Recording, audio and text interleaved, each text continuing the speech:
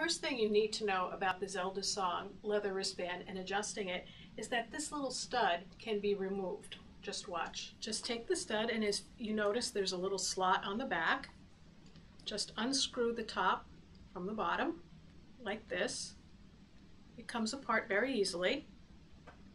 And then just reposition the stud to whichever one of the holes is more comfortable for you and reapply the top. And you're done. Now this would be a setting for a very large wrist. I have the stud all the way out here so that when you bring it in, you can get the biggest diameter possible.